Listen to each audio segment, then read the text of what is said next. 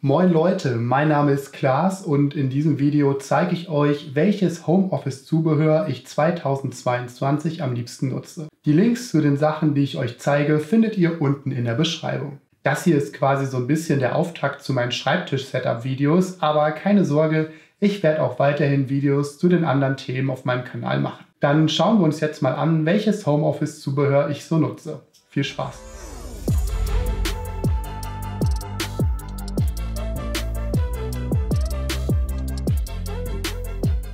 Als Schreibtischplatte nutze ich hier diese Linoleumplatte. Ich bin ein Riesenfan von dem Grau.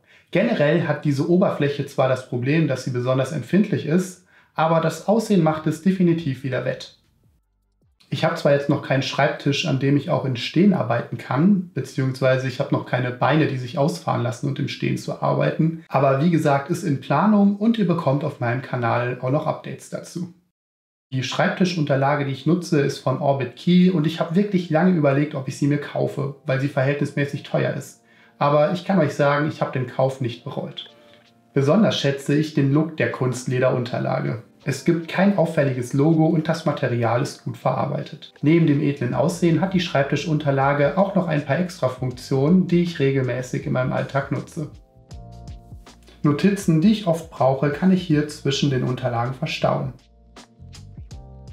Hier oben befindet sich ein Magnetstreifen, mit dessen Hilfe sich Kabel ganz einfach einklemmen lassen, wenn ihr sie gerade nicht braucht.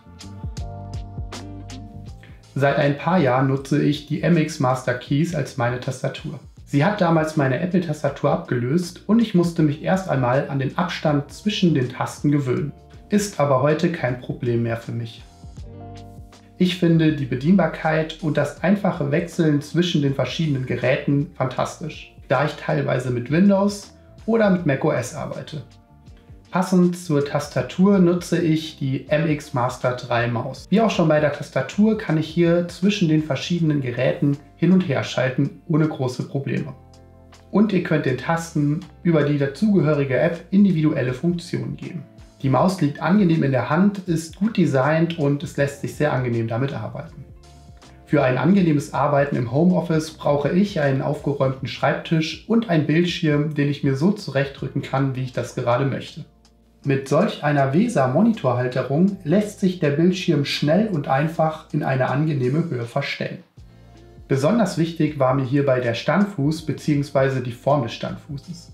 Ich habe damals mal ein bisschen bei Amazon geguckt und wirklich fast alle Bildschirmhalterungen hatten unten so eine breite Platte und es war einfach nicht das, was ich haben wollte. Nach langem Suchen bin ich dann auf diese Halterung gestoßen, beziehungsweise auf diesen Standfuß und ich finde das Design wirklich klasse. Ich kann jetzt hier ganz einfach den Bildschirm nach vorne, nach hinten, nach oben oder nach unten bewegen und er bleibt auch in der Position stehen, in die ich ihn bewegt habe. Vielleicht ist es nicht der beste Arm auf dem Markt, ich kann das so leider gar nicht genau sagen, aber Preis, Qualität und auch Design stimmen hier. Ich kann euch diese Bildschirmhalterung definitiv empfehlen. Als nächstes zeige ich euch die Lightbar von BenQ. Die Lightbar nutze ich täglich mindestens 8 Stunden und ich kann sie jedem empfehlen, der empfindliche Augen hat und viel am Computer arbeitet. Ist die Lightbar richtig eingestellt, spiegelt sie nicht auf den Bildschirm und spendet auf angenehme Art und Weise Licht. Die Lightbar hat eine Funktion, mit der sie sich automatisch an die Lichtverhältnisse im Raum anpasst. Und das funktioniert auch ziemlich gut. Ansonsten lässt sich über diese Taste aber auch die Intensität einstellen und hier die Farbe des Lichtes. Die Lampe muss lediglich an einem USB-Anschluss angeschlossen werden und sorgt für einen clean Look. Wenn euch mein Video einen Mehrwert gibt, wäre es großartig, wenn ihr auf den Abonnieren-Button klickt, um mich so langfristig zu unterstützen. Schreibt mir doch gerne in die Kommentare, was euer Highlight bei eurem Homeoffice-Setup ist. Bleiben wir mal beim Thema Beleuchtung. Ich bin ein großer Fan von indirektem Licht, da es zum einen nicht blendet und zum anderen eine angenehme Arbeitsatmosphäre schafft. Als Backlight für meinen Bildschirm nutze ich keine Lightstripes oder so, sondern die Philips Hue Playbar. Die Lichter kommen mit einer Befestigung, die von hinten an den Bildschirm drangeklebt wird. Und über die App lassen sich verschiedene Farben einstellen. Hier könnt ihr nicht nur die Farben einstellen, sondern auch die Intensität des Lichtes. Auch wenn es eine riesige Auswahl an Farben gibt, nutze ich zum Arbeiten wirklich nur helles oder hellgelbes Licht. Persönlich habe ich schon das Gefühl, mit den eingeschalteten Lichtern länger an meinem Bildschirm arbeiten zu können. Übergangsweise nutze ich im Moment als Kopfhörer für meinen Alltag die Sony WH1000 XM3 Kopfhörer aus dem Jahr 2018. Das Noise Cancelling ist bis heute wirklich top und auch das Design ist immer noch zeitlos und schick. Zwar ist die Steuerung auf der Seite über das Touchpad nicht besonders intuitiv, aber da ich die Kopfhörer überwiegend im Homeoffice oder auf Reisen nutze, fällt mir das nicht ins Gewicht. Das einzige Manko ist die Qualität des Mikrofons. Der Klang ist wirklich nicht besonders gut. Wenn euch das nicht stört, bekommt ihr im Moment die XM3 für ca. 200 Euro bei Amazon.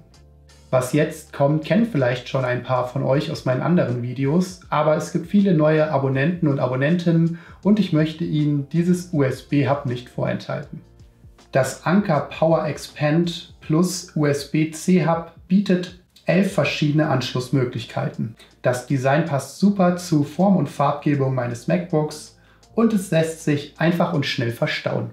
Es hat einen HDMI-Anschluss, einen DisplayPort-Anschluss, zwei USB 3.0 sowie einen Ethernet- und Audio-Anschluss. Außerdem habt ihr hier auch einen USB-C-Zugang, über den ihr auch euren Laptop laden könnt. Mit diesem Adapter seid ihr wirklich gut für die gängigen Anschlüsse gewappnet. Ich arbeite eigentlich größtenteils mit meinen Kopfhörern, aber wenn ich dann doch mal Lust habe, Musik zu hören, nutze ich meine Sonos One SL Lautsprecher.